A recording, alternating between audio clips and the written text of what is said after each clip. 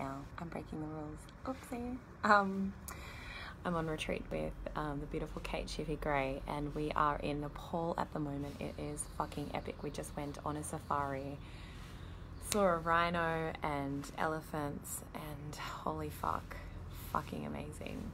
Um, but what I wanted to jump on here today with you and share with you all is asking, and this has really landed in my in my my life right now and asking for help and it's so beautiful because the thing I love about life is that everything comes back around. Hey Jade.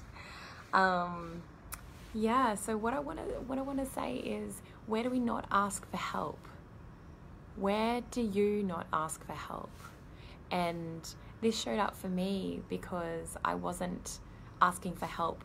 One of the reasons was because I didn't even think about it because I was so thinking of uh, everyone else and other things. And the other reasons were the other reason was also that there was a part of me, this little story in my head that goes, "Oh, I can't do that."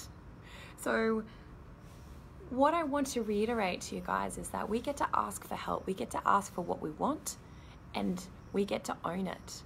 Because if we don't, then the universe does not know that we want it. The universe doesn't know how fucking serious we are about it. And we fucking are serious about it. If it is a need, if it is a desire for us, we get to ask for it. And this connects into, it comes back to a lot of things, but when I want you to because I would I'm going to invite you to ask for something. So connect into something that you really really want in your life right now and maybe that's asking for help with doing the housework around the house. Maybe it's actually asking for what you want in the bedroom from your lover, from your husband. Maybe that's asking to be seen in a conversation. You get to ask for it. But what I would invite you to do is sit with the stories that arise in your mind around why you feel you can't ask for help or why you feel like you can't ask for this thing and write them down because they're only stories. And a lot of the times it dates back to being seen and not heard when we're children or um, you get what you're given or you know you don't need anymore it's okay you've got enough and that's that's fine. We don't need anymore. We can't ask for anymore and a lot of the times this stuff plays out it also connects in with self-worth and notice these thoughts that come up. I've written a few notes so I don't forget. so notice these thoughts that come up. And what I want you to ask yourself is how can you lean into the discomfort of asking anyway? So for me, what this looks like is having a conversation with the person, for instance. Um, Hey beauty, I just want to let you know that I'm feeling really, really fucking uncomfortable around asking for help at the moment around this, and it really scares me. And I just wanted to let you know that that's how I'm feeling, and I'm also going to do it anyway because I don't want to stay stuck in those thoughts. So, being as completely transparent as you possibly can. And this also is attached to reminding yourself that you're safe because what happens is the brain goes, We're not safe if we ask for help because what happens is they could reject us or they could abandon us or they could you know there might be some sort of disharmony. And what happens is women normally what we do is we will sacrifice our desires and our needs in order to keep um, the safety of our personal connections because we don't want to rock the boat so asking for help asking for what you need notice the thoughts that arise how can you lean in and how can you be completely as transparent as you possibly can and during this process, it might actually be really diving in and, and holding yourself.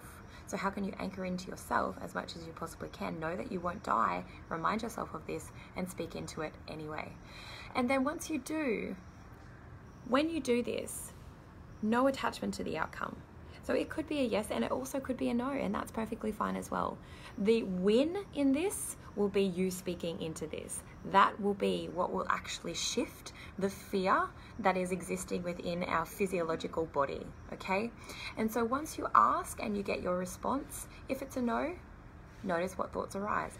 If it's a yes, I invite you to also notice what thoughts arise because what can happen is that we can go into um, a mode that is how can I keep everyone happy? So, harmony mode.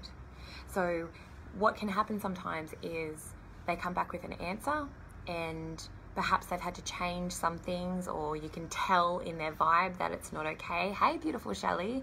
And we start to go in fix it mode or how can we make things better because we're women we want to nurture we want to love this is also a part of our thing so really noticing where you go into protection mode with your personal connections and how that plays out.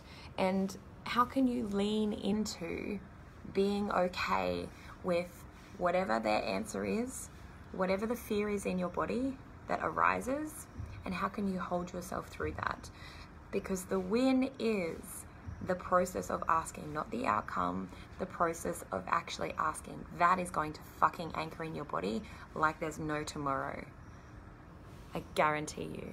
So I'd love to know how you go with this and you get to have it. You get to ask for it. You fucking deserve to ask for it. So fucking ask for it because you get to have it all. I love you so much and I'm here doing it with you. I fucking promise. And if you have anything, what is it that you are wanting to call in? What is it that you are wanting to ask for? Maybe it's even asking for help from your partner around the house. And that's perfect as well. I'd love to know what it is that you are desiring to ask for, but that you really, really struggle to ask for. I love you, I love you, I love you so fucking much. And I'm so grateful to be sharing this journey with you all because we fucking get to have it and we get to ask for it. Oh! I love you guys. I will speak to you all again soon. Mwah. Goodbye from Nepal.